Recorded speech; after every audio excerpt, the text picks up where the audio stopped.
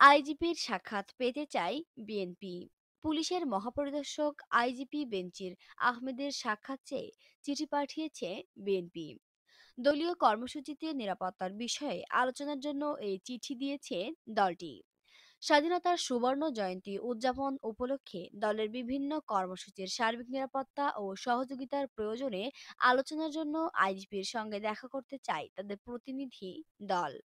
সোমবার বারোই ফেব্রুয়ারি এই তথ্য জানান বিএনপি চেয়ারপারসনের প্রেস উইং সদস্য সাইরুল কবির খান। সাইরুল জানান, মঙ্গলবার বেলা এগারোটায় আইজিপির সঙ্গে বিএনপি চেয়ারপারসনের উপদেষ্টা কাউন্সিলের সদস্য আব্দুল সালাম সহ চার সদস্যের প্রতিনিধি দলের সাক্ষাতের জন্য সময় চেয়ে চিঠি দিয়েছেন চেয়ারপারসনের একান্ত সচিব A B M Abdul Sattar.